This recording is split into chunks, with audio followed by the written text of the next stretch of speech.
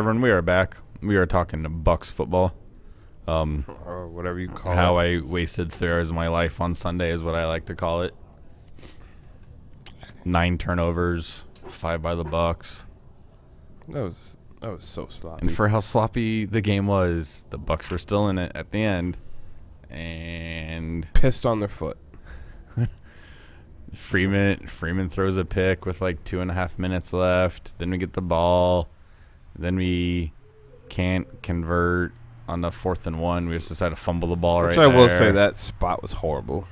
Well, in what I don't get in situations like that, I know they're not going to stop the clock so the teams can huddle, but why can't they stop the clock? Check, just you know, see if see if it's a first down. It's supposed to. They're supposed to measure it.